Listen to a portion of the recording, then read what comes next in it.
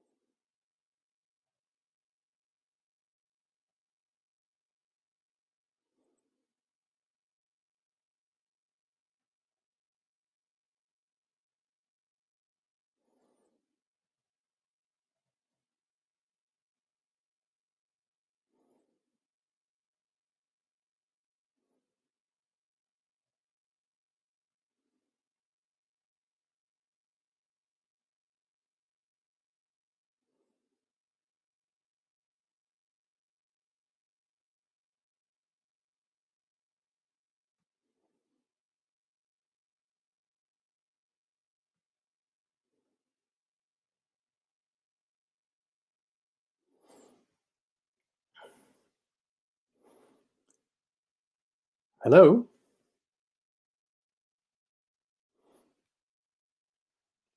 I've no idea. Am I supposed to start? or are we just waiting for something? Hello, hello.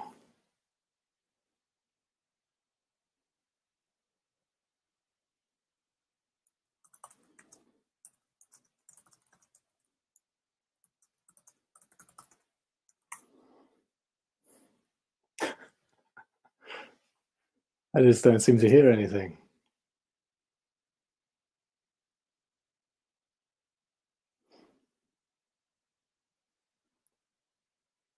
Okay, I think um, I, I, was expecting a kind of sign to uh, to allow me to uh, to start my workshop. Um, not sure whether that didn't come through or not, but anyway, welcome uh, to this workshop. Shop. Thank you, thank you for joining us today. Um, we will be talking about FAPI, the uh, financial grade API. You may already have heard something in previous sessions uh, that I noticed on the agenda. Um, I will also be talking about Akana, obviously, because that's the company I represent. And I will show you how we at Akana help you to create your um, financial grade APIs and how you can actually also publish these APIs to your consumer audience.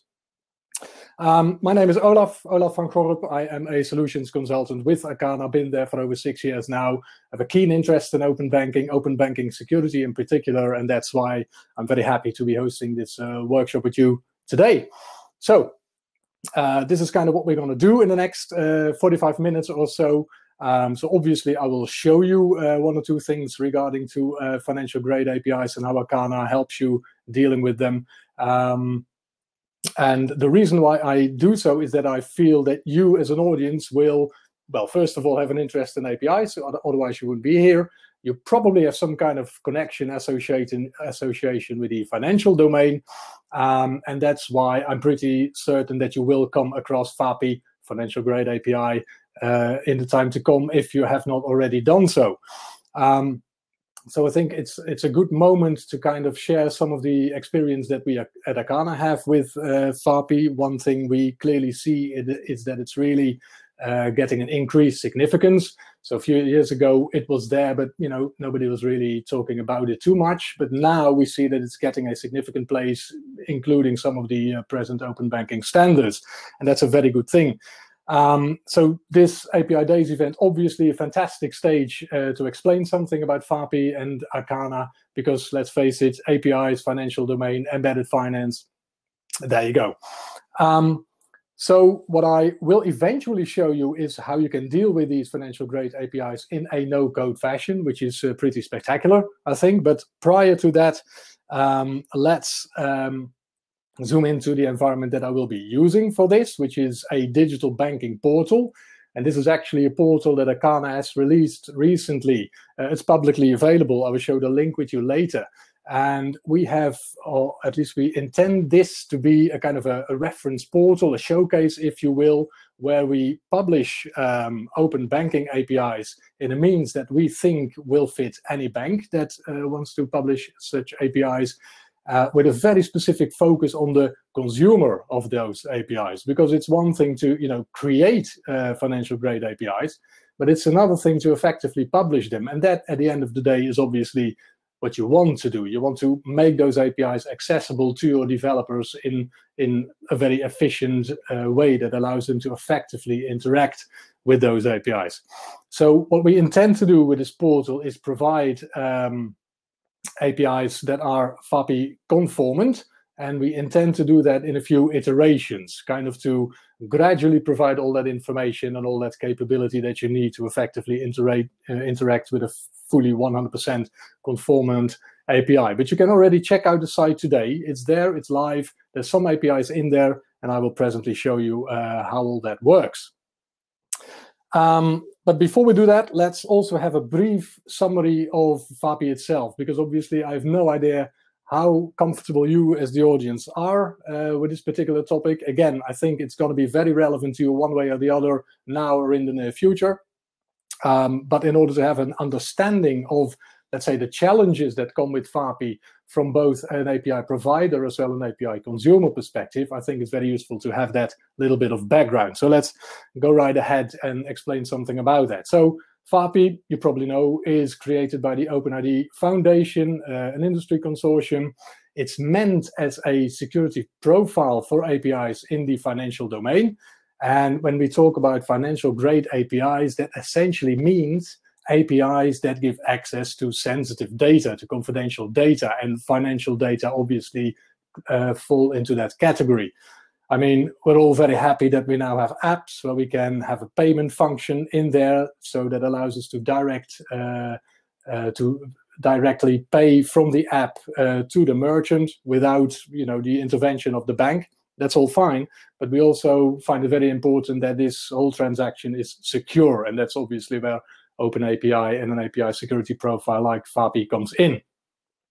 So uh, from a very high level, you could say that what FAPI uh, is doing uh, or has done is they have identified some vulnerabilities with the, uh, let's say, the common OAuth and OpenID Connect standards. And obviously, these standards were created as uh, authentication authorization standards for APIs in general.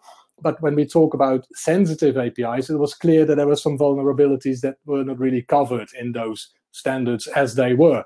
So the FAPI spec is further constraining or hardening, if you will, those standards. And I think that in itself is a fantastic exercise because what it will definitely result in is a much higher level of interoperability. The situation that we find ourselves in, obviously, is that as a third party, you want to interact with open APIs. Uh, you probably want to interact with APIs from a multiple number of sources, so many different banks, for example. And it would be very, very painful if you needed to interact or create an implementation with each and any of these banks with you know, a slightly or even radically different security profile on top of these APIs. That's not very interoperable. So the fact that with FAPI you have a clear standard that really specifies, um, you know, where OAuth may still tell you you could either go left or right, FAPI will clearly say you must go right here. So there's no uh, there's no discussion. So it's a very clear spec very detailed, uh, allows for brilliant automation. And the fact that you get this interoperability also means that at the end of the day, it will have a positive effect on your cost, uh, the cost, uh, the cost associated with the implementation. So it's also very good from a cost-effective uh, perspective. Um, in terms of the scope, uh, just a little remark on that. I mean, you might think that FAPI is like a comprehensive API security solution, and even though it covers, you know, critical elements like authentication and authorization, uh, it does not really cover all of the use cases, nor does it intend to at this stage. Uh, so you might summarize it as that it, it, you know, it focuses very strongly on consent, uh, but it does kind of uh, ignore intent. So even if I have a valid client, a valid authentic client, um, there may still be a user uh, sitting behind uh, the screen that has malicious intent, and that is also something that you will need to address for uh, if, as part of a comprehensive API security um, um, program. So, um, FAPI applicable to services that really require that higher level of security. Um, talking about some of those vulnerabilities, you will see that, uh, for example, um, regarding OAuth bearer tokens, that FAPI looks at um, the potential use of a bearer token by somebody that the token was not granted to in the first place. So a bearer token is very often compared to like a bus ticket. Anyone that happens to find the ticket can enter the bus, even though the ticket may not have been um, given to that person in the first place. And with a bearer token, it's very much the same thing. So should a token leak, should somebody get access to a valid bearer token, that person might actually try and access the API using the token. FAPI now uh, addresses that issue by um, uh, specifying sender constrained tokens. So it means that the token must be bound to somebody that to something that that absolutely ties it to that particular client that the token was granted to, that the token was given to. So in this case, for example, tying it to the client certificate that was used by the client to connect to the authorization server in order to gain the token.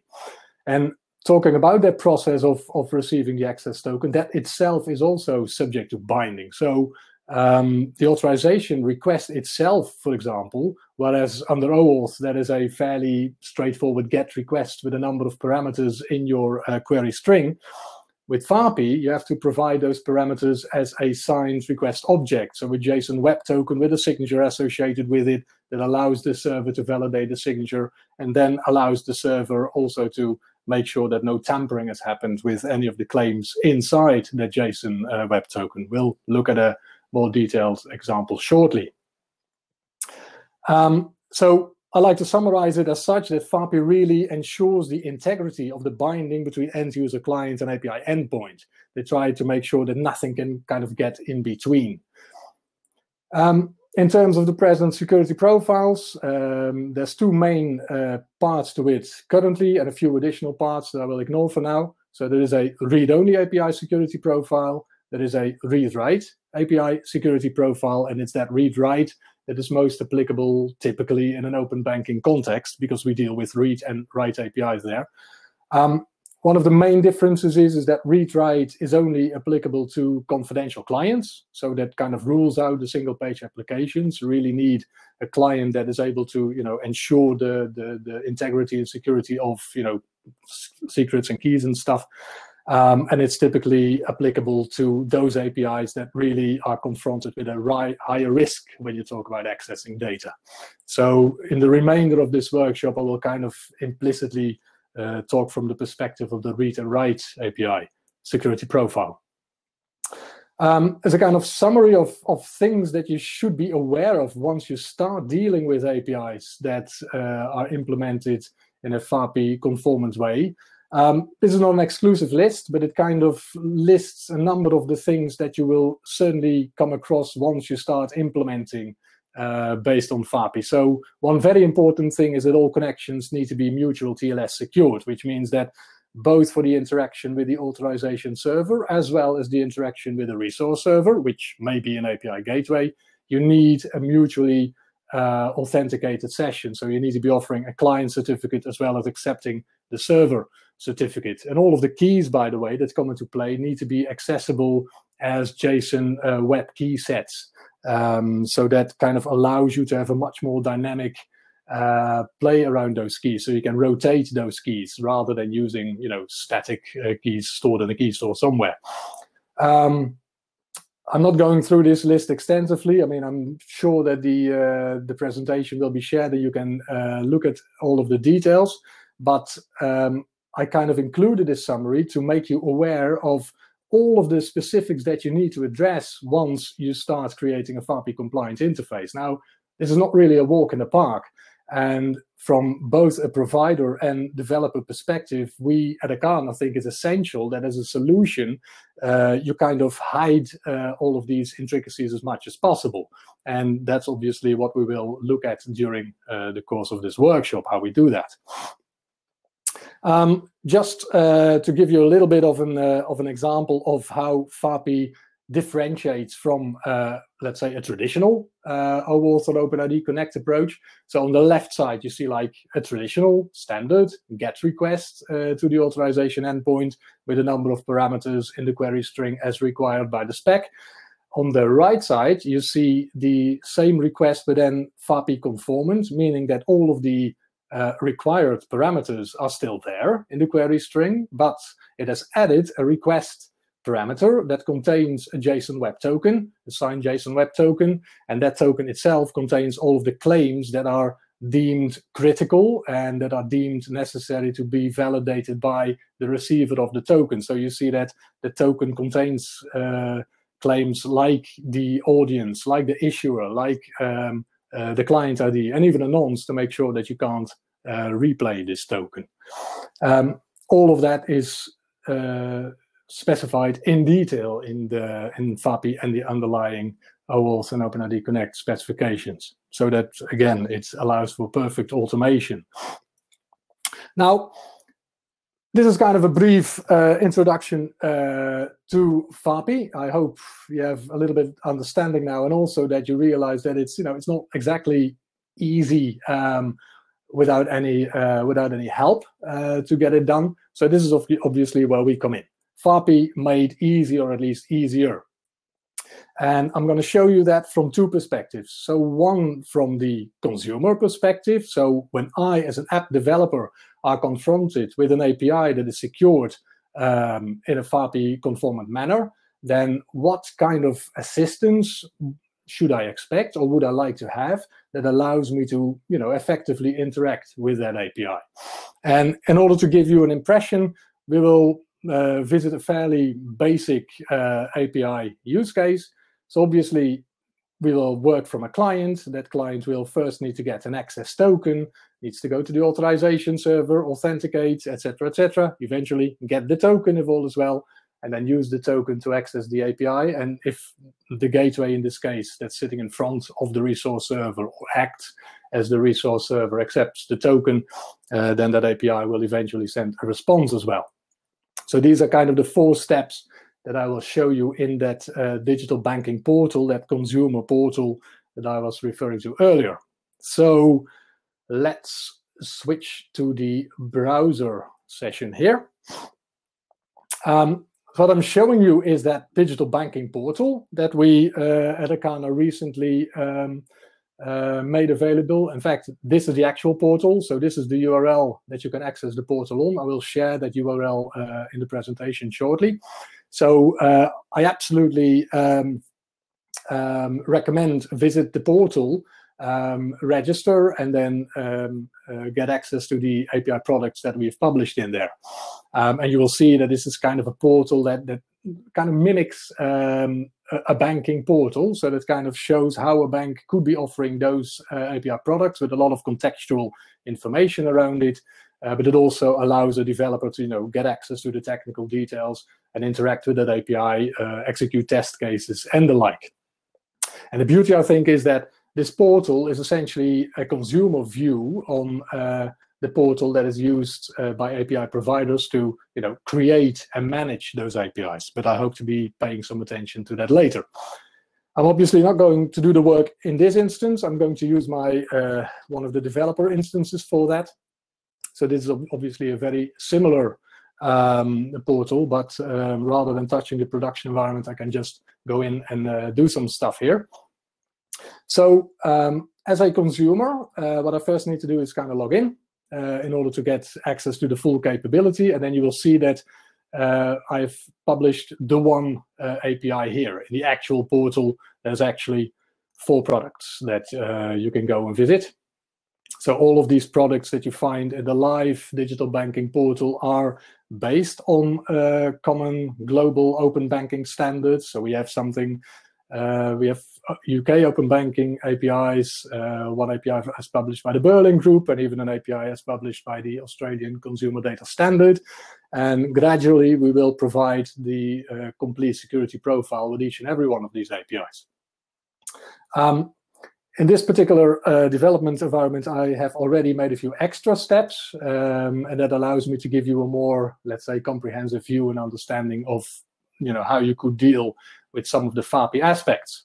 So if I look at the details of this particular API, um, I can look at those details here. I can look at the documentation, and this is all coming straight from the, the underlying Open API document, right? So the means or the way in which we create such an API is essentially we import that document, um, and the result of that is that all of the documentation is already available, and that that API is really translated into a deployable asset. So it's immediately available on any of the gateway clusters associated with that environment.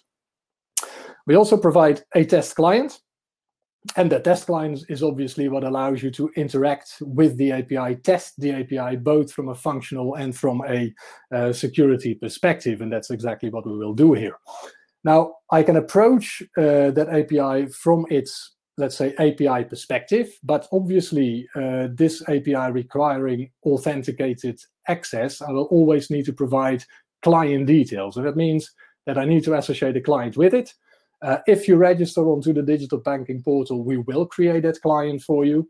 Um, we will create the contract between client and all of the APIs automatically for you. So that means that you can use that client to interact with each and any of those APIs. And that's exactly what I will be doing here. So in this case, I've created, sorry, a third-party open banking application. What's in the name? Um, and if I hit uh, that application, you see that again, I have access to a test client, but this time from the app perspective. So it's the exact same client, but just uh, you can access it from either API or app perspective. Now, one of the first things that you will need to do if you want to work with an API that is um, configured uh, according to FAPI is that you need to initiate a mutual TLS connection, right? So that means that I will need to uh, associate this particular client with a key store. And that association has already been done. So this client has already been registered with that key. But if I want to use that key in the test client, I will have to upload the key. And that's the first step that I'm going to do here. So here you find my app ID, my client ID. And I'm now going to select the PKCS12 file. It could be either of those types. Um, this file here. Open that. And provide a password because a, um, sorry, typing and talking are two different uh, capabilities. Uh, a key store will always have a password for security, obviously. So now I've uploaded that key store, and it means that I can now start with the first step, which means is getting the access token that is required to access this API. So I go to security.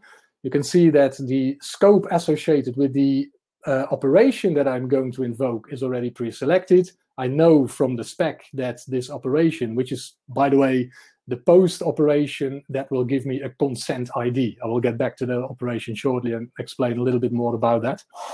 Um, I know that it requires this grant type, so this is kind of a FAPI edge case because client credentials is not common under FAPI because usually you uh, request an, uh, an end user to be there, a resource owner.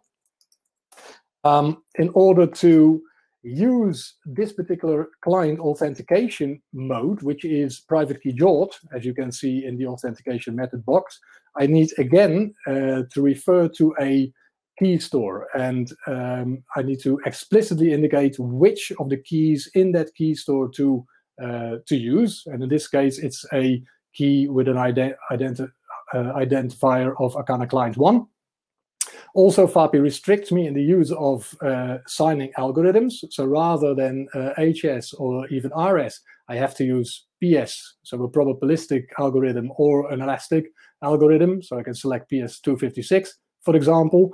What will happen now is when I approach the authorization server um, at the authorization endpoint, um, uh, a, re a, request object will be um, presented as a JSON web token, and the token will be generated by me or for me by the test client, signed with this algorithm, etc. So if I hit uh, get token, then the authorization server responds with an access token. So apparently uh, the signature is valid. Apparently I am a registered client, otherwise I would not have gotten um, that token. And the test client will also make sure that this access token is positioned in the authorization header prior to accessing the actual API. So we're going to invoke this post operation here, which is requesting me for consents that in an open banking use case is the first step really, because that consent ID, uh, it kind of represents what actions I, as a third party, as an AISP, am allowed to do on behalf of a user with uh, the account that I would be uh, requesting for eventually, right? So this is kind of a pre-step. Now, it is a post, so we probably expect some kind of payload. But let's see what happens if I invoke the API without a payload. So there is a response. So the API has actually been called, but you see that an error is returned. And this is one of these things that I was referring to that is not explicitly covered by FAPI, but it's still a very important API security element, and that is validating the entire message. So are all of the required elements there? So we uh, have added an additional policy here in Akana that validates the incoming message against its schema. So it looks at all of the headers, uh, looks at, at, payload elements if there is a payload, etc. Um, so let's just add a payload. Still no good because apparently uh, an element is missing from the payload. So I really need to provide a payload that corresponds exactly to the schema as it is um, uh, configured with this particular API resource.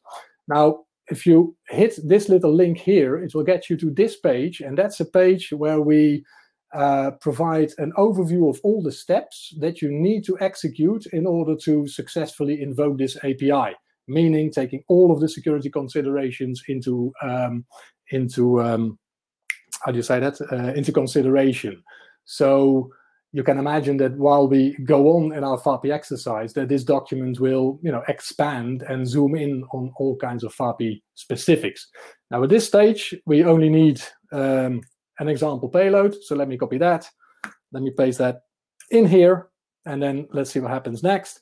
And hip hip now we get a 201 response with a valid response. This is not actually coming from a banking application. Obviously, it's a dynamic mock response. We have hooked up these APIs to a mock server. Um, it's uh, dynamic to some extent, so you see some of the data change here, and I can actually also use this uh, consent ID that has been generated for me uh, to access one of the other operations. For example, we could access an operation that returns details about this particular consent ID. Now, if you look carefully, you see that this button is grayed out here. And the reason for that is, is that the key store is still there, but the OAuth token that I uh, that was granted earlier is not valid for this resource because this resource actually requires a scope of OpenID and accounts. So that also means that I need to use a different grant type. Um, I will now also need to authenticate as a resource owner. So I've hooked this environment up to a third-party identity provider.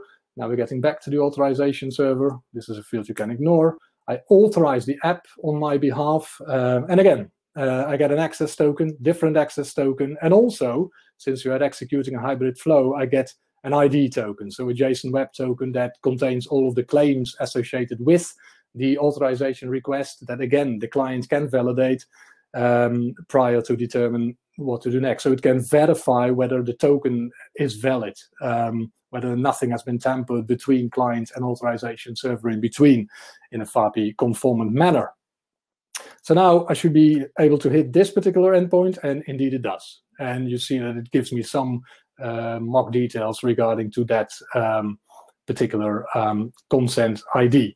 So if I now go back to my presentation to kind of explain what we have seen here, um, um because that's obviously happening under the hood right?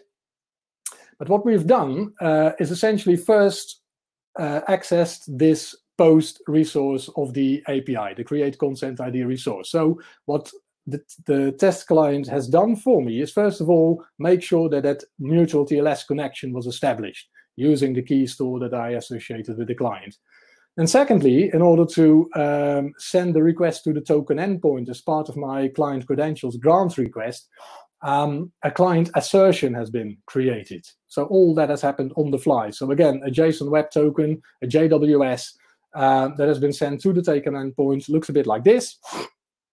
Is validated by the server, um, the signature, the the, the uh, required claims in there, and only when that is fine, it will send the bearer access token. And with that access token, I can then go ahead and access the API. And if my uh, request message is valid, and I actually get a response.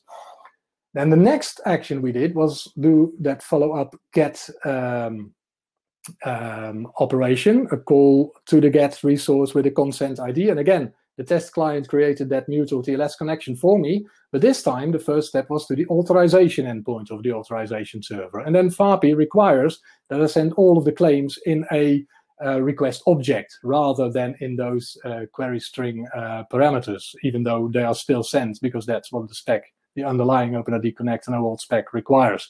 So the parameters are still there, but the critical parameters are all included into this uh, JWS here. So that's been created for you. It's sent to the authorization endpoint. If all is fine, the authorization server will respond with a code and an ID token, and that will then um, allow the client again to uh, request an access token at the token endpoint of the authorization server. Again, sending a client assertion that has been created for you uh, containing the claims of this particular client using the private key JWT authentication method at the token endpoint.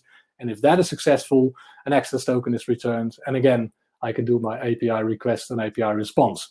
Now, just imagine that you would have to do all this without such a test client, right? That would require you to build essentially your client uh, and create all of these uh, tokens and objects for you.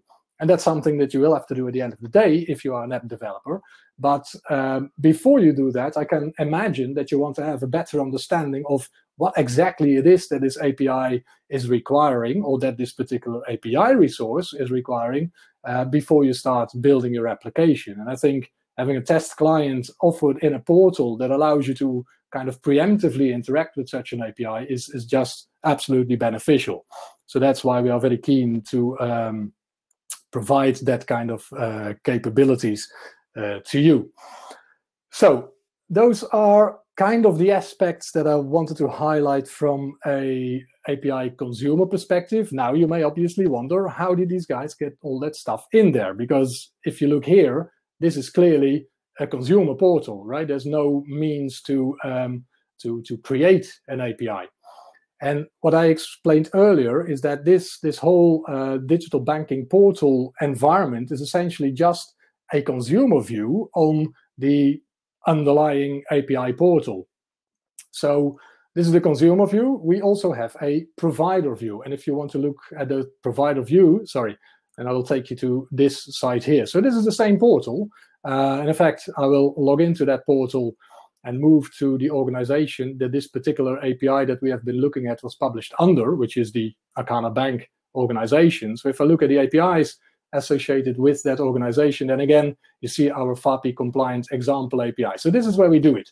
This is where we create the um, API. This is where we configure the API, in this case on its sandbox endpoint or in its sandbox environment, with a number of uh, Akana policies that are necessary to deal with those security and FAPI aspects that this particular API uh, needs to be associated with. So in this case, it's actually fairly simple because we only need an overall security policy, and we have added a message validation policy that kind of validates the request against the, the, the schema associated with each individual resource.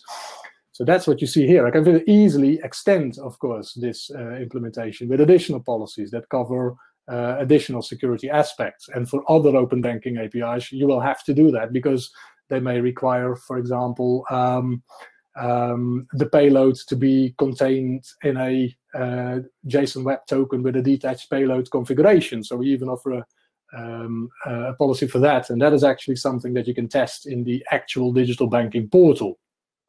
That use case is, by the way, fully described on the uh, Akana.docs uh, website. So if you look for open banking use case, you will find all of the details there. Um, in terms of configuring uh, the FAPI um, elements itself, that's actually amazingly easy. So I was mentioning earlier that we want to support FAPI in a no-code fashion. Uh, so let me show you how we kind of deal with that. Um, so if you want to have a present OAuth slash OpenID Connect implementation upgraded, if you will, to a FAPI conformant uh, configuration, that there's essentially only three steps that you need to go through in Akana. So first of all, you need to go to your OAuth domain. And an OAuth domain is essentially where you um, configure an authorization server instance. So this is where you tell what grant types do I want to support at this uh, particular authorization server endpoint? What token types do I support? Uh, should it allow or support OpenID Connect or not? And obviously, what is the uh, authorization server URL that should be used to access this particular instance. That's what you configure in a domain. Um, and those are essentially all generic uh, elements that you can then apply to individual APIs. So they are reusable across APIs. Now, if I want to um, uh, add or, or, to upgrade a domain for uh, FAPI conformance, then I just have to make sure that I also allow the JWT bearer assertion grant type. Um, so if you look at um, this environment here, let me look at the domains. There's a great deal of domains here because we use this for many different uh, test cases. Um, but this is where you configure the grant types, and you can see that next to authorization code and client credentials, uh, we have also activated the JWT bearer assertion grant type. And that kind of um, allows the use of JSON Web Tokens as client claims um, at the token endpoint. So that's step one. Step two is what I've already shown you. You need to make sure that your app is configured with a key store. So it needs to be associated with a certificate that can be um, validated, that is trusted by uh, both the authorization server and the resource server. And the beauty, again, about Akana is that if I go back to uh, my um, app and look at the details, that you can actually uh, create those key stores from the UI. So in this case, a key store has already been associated with this uh, particular app. But if not, you will see that this button changes to import credentials, which then allows you to import a certificate signing request. Uh, it will be signed by the um, the CA that is built into the Akana platform, and it will return uh, the associated certificate. So using your private key and the certificate, you can create your JKS or PKCS12 file that you can then use uh, in the test client to um, execute test cases uh, that require mutual TLS or signing of JSON Web Tokens, etc. Um, so very, very, very useful in uh, in terms of test. Um, and then last but not least, um, we allow you to kind of uh, constrain um, the um, the methods that a particular client can use to approach the authorization server in what we call the app's OAuth profile. So for example, you see that for this particular app, we have limited the authentication methods to private key JWT. Uh, and that's also what you saw on the test client. Um, we've even um, configured it uh, to avoid um, replay so that a nonce is included in every request.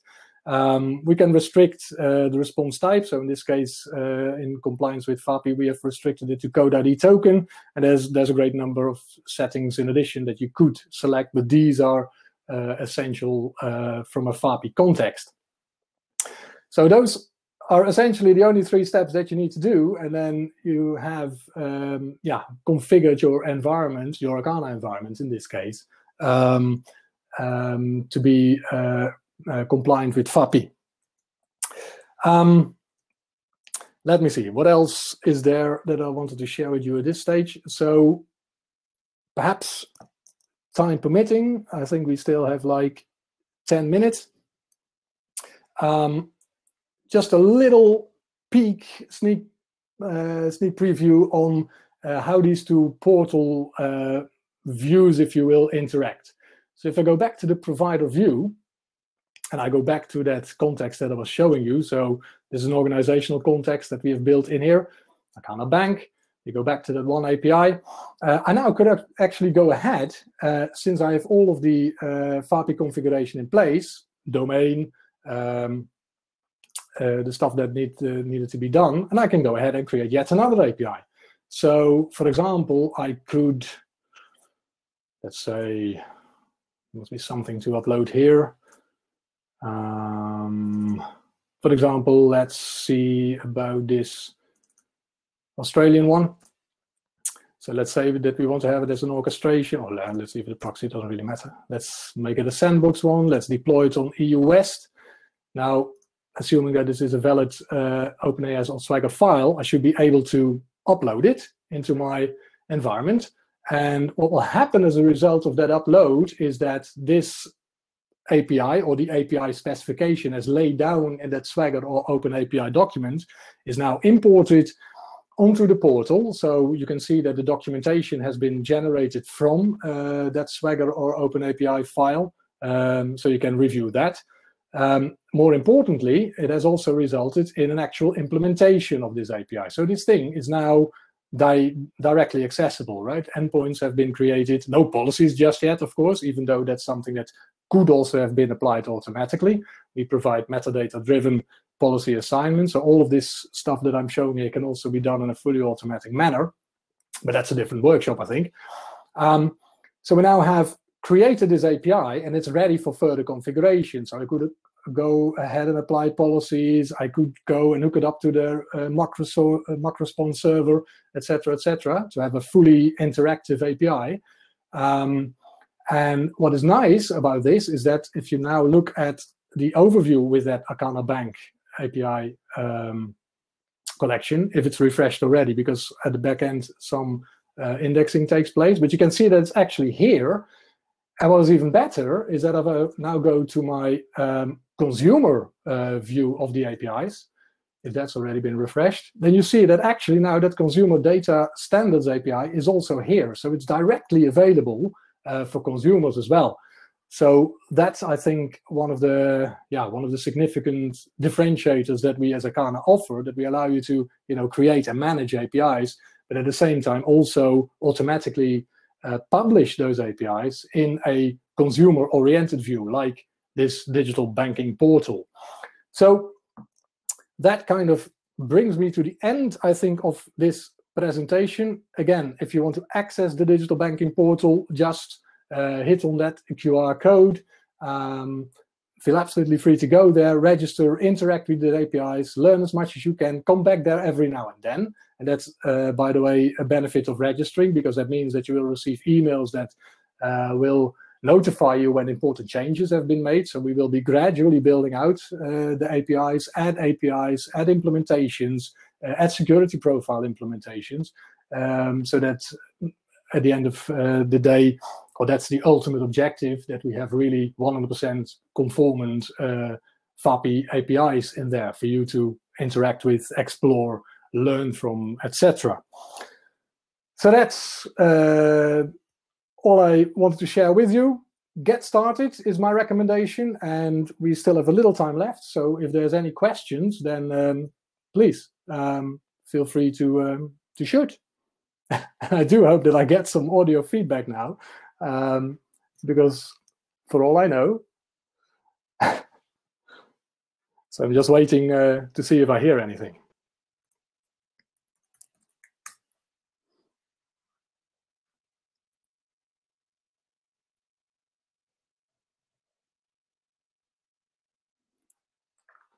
It's kind of interesting about these virtual events.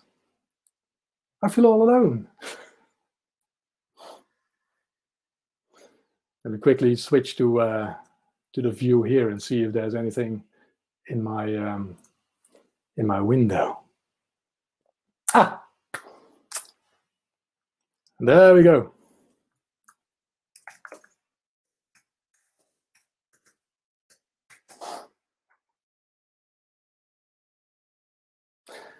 Okay, there's a question there. Is FAPI compatible with Open API? Um, that's an interesting question. I think that uh, we are talking two distinct approaches here. So Open API is very much uh, meant as a standardized means to specify uh, your, you know, your API structure and semantics into a document, a standardized document that can then be uploaded uh, or that then be, can, can be used to cre create client and server implementations from. FAPI is kind of a dimension on top of that that really specifies the details of the security profile. Part of those details, indeed, can be laid down in OpenAPI. So OpenAPI obviously allows for the specification of all of the, let's say, required headers that are required with a uh, particular API resource. So that could be um, an authorization header for standard OAuth, but you will also see that there are a number of um, uh, X-FAPI headers used with the UK Open Banking implementation, for example. You can lay these headers down as part of your um, requests and response uh, specification in OpenAPI. Uh, and then when you upload the document, all of these headers, required or not, will immediately be recognized as such. So that would happen if you upload uh, UK Open Banking, Open API documents into Akana, for example. All of the headers that are marked as required, or all the other message elements that are required, uh, that are indicated as required, they will automatically be treated as such. And if you apply a validation policy, that you know the runtime call will actually be validated in accordance with both the API uh, document and the underlying FAPI security profile. Any other questions at this stage? Or do you guys need to digest? You're most welcome, Baljeet. I do hope it answers your question.